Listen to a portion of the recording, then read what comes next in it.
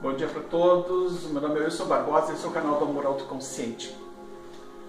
Quero convidá-los a curtirem a minha página no Face, que é a página com o nome do livro, Amor Autoconsciente. Por sinal, o livro está à venda. Minhas telas também, que estão aparecendo nos vídeos, também estão à venda.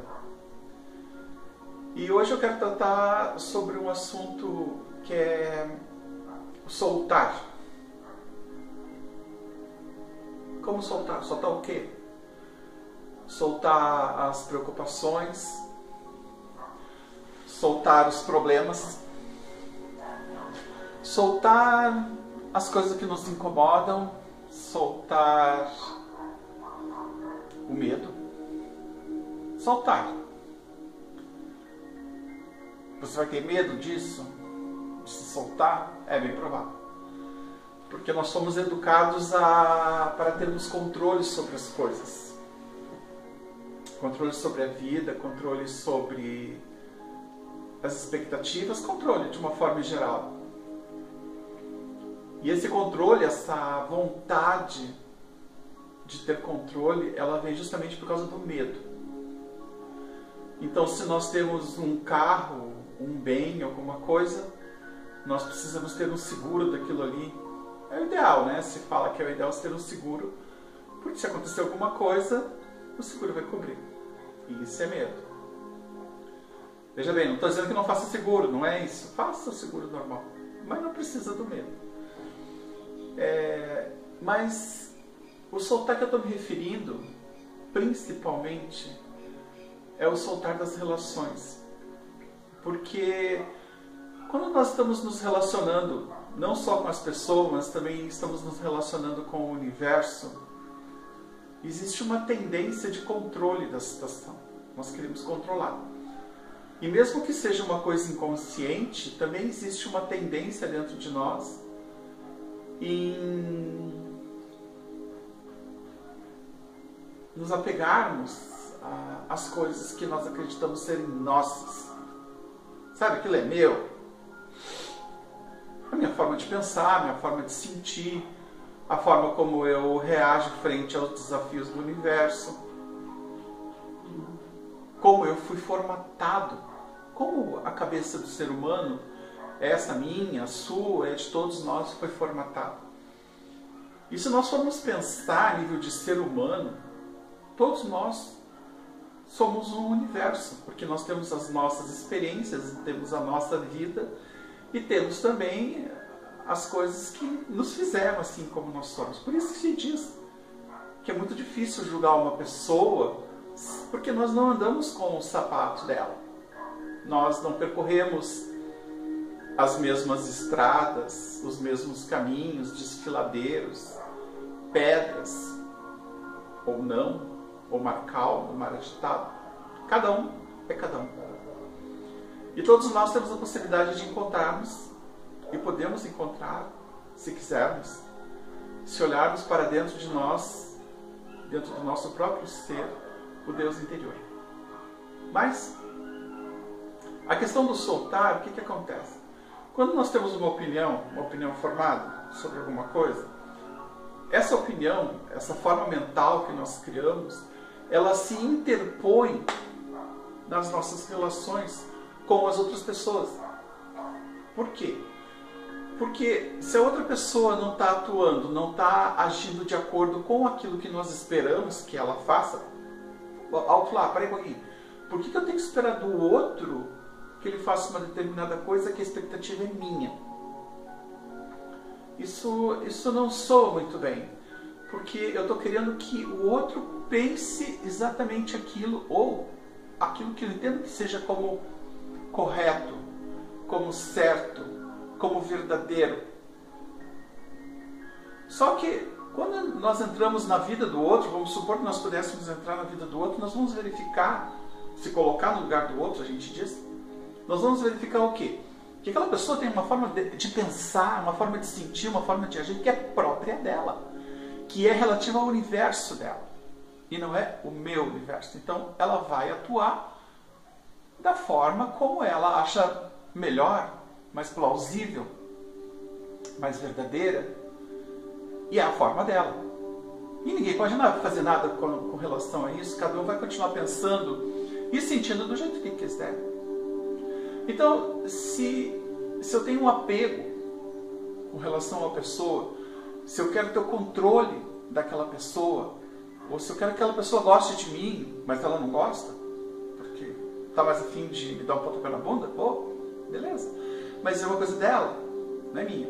Aí a ação que essa pessoa fez em relação a mim, ou em relação a qualquer pessoa, em relação a você, é uma coisa que ela está interagindo com você, baseada nas expectativas, baseada no julgamento, baseado no quê? Baseado na vida dela. Na forma como ela enxerga a vida e acredita que a vida é aquilo, aquilo é a verdade. Então, como se interpor na frente do outro e dizer para ele o que é a verdade e o que não é? Então, esse julgamento que nós temos, soltar, esse é objetivo, é o que? Deixa a pessoa ser o que ela quiser. Não tem como nós nos colocarmos no lugar dela e fazer com que essa pessoa tenha uma determinada atuação, haja de uma determinada maneira. Até porque se nós fizéssemos isso, se nós fizermos isso, o que, que vai acontecer?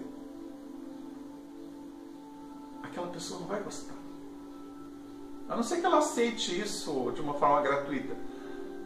Mas aí tudo bem. Aí talvez tu talvez você esteja até se ajudando, mas normalmente não funciona assim. Normalmente a coisa funciona mais na base da resistência. Então, se eu tenho um sentimento, e aí vem o soltar, ok? Se eu tenho um sentimento em relação àquela coisa que está acontecendo, e esse sentimento está me prendendo àquela coisa, o que, que vai acontecer? Eu vou ficar submisso frente àquele desafio que está sendo colocado para mim. Então, por exemplo, se uma determinada pessoa atua em relação a nós, nos atingindo com seu ódio, rancor, ressentimento ou desprezo, não interessa o que ela está fazendo, interessa o que eu estou passando dentro de mim em relação a ela. Que, que eu estou fazendo dentro de mim? Como é que eu estou absorvendo aquelas palavras? Ou não? Ou silêncio? Se uma pessoa fica em silêncio, que maravilha se fosse se todos pudessem ficar mais tempo em silêncio e escutar sua essência, escutar sua intuição e a sua consciência. Isso seria ótimo, maravilhoso. Mas na prática a gente sabe que não funciona assim, né? Porque a mente está o tempo todo, né? Parece uma metralhadora, um fuzil.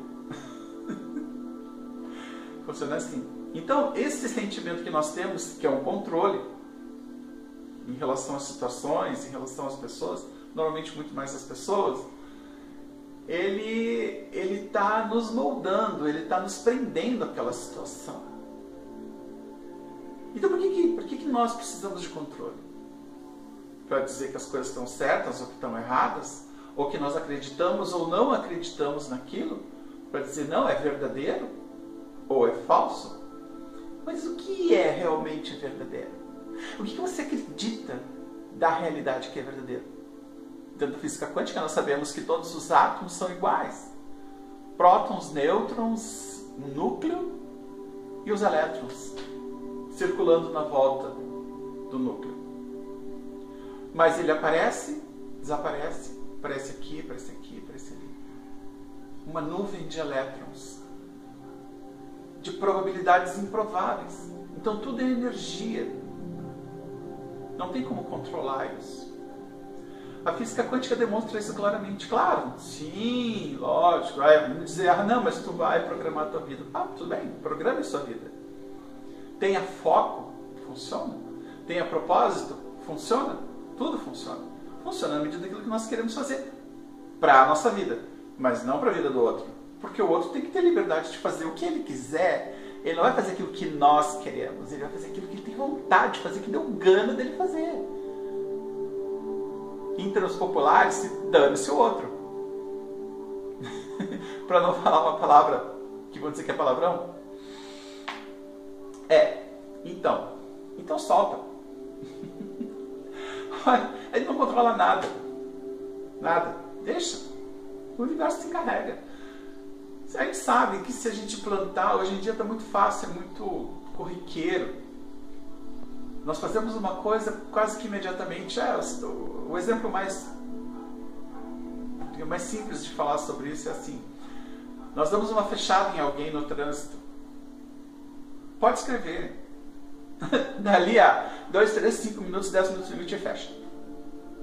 Do mesmo jeito. Ah, estava inconsciente, nem estava pensando, estava pensando não sei o que, não sei aonde, puf, fechou o outro. Aí vem outro e pá, faz a mesma coisa. Então, assim, ação-reação, é imediata. E isso serve para a gente poder, tipo, cair a ficha, né? Ou será que não cai? aí é pessoal, aí é de cada um. Correto? Então, o convite é soltar, deixa, sabe? Deixa as coisas fluírem. Não precisa controlar o outro. O outro quer ser daquele jeito, tudo bem. Paciência, é o jeito dele ser. Mas não quer dizer que aquilo tenha que me afetar. E se ele quiser te afetar de algum jeito, e você estiver soltando a coisa, mas aquilo vai passar longe. Ninguém vai chegar em ti. Aí você errou, beleza, dá uma olhada pro, pro erro que você fez e conserta, ok? é isso aí. Eu quero desejar a todos um ótimo final de semana. Estou gravando esse vídeo hoje num sábado muito bonito, já mês de agosto, né? Quase terminando. Desejo a todos um ótimo final de semana e soltem as coisas. Né? O que a gente pode fazer por nós, nós fazemos quando nós podemos fazer. Quando nós enxergamos as coisas que nós temos que fazer. Que às vezes as fichas estão caindo na nossa cabeça e a gente não enxerga. Então, tudo de bom